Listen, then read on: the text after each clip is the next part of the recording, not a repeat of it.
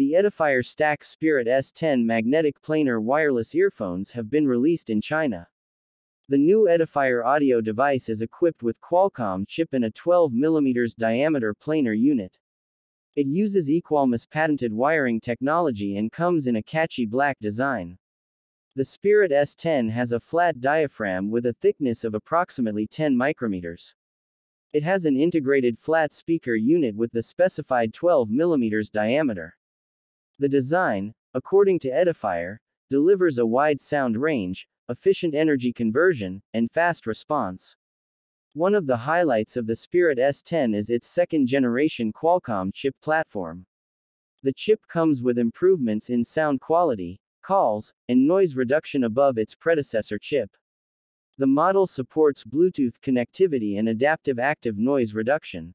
The Spirit S10 has the high-res gold label certification and supports high-definition codecs.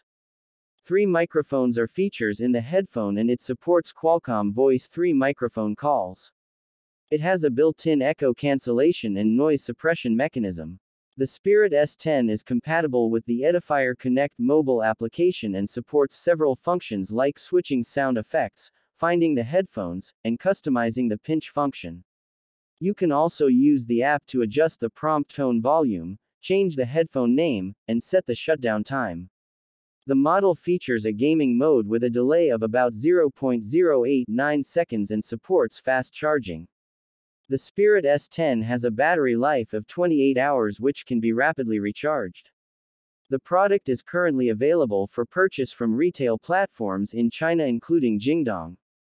The retail price of the Edifier Spirit S10 is $275.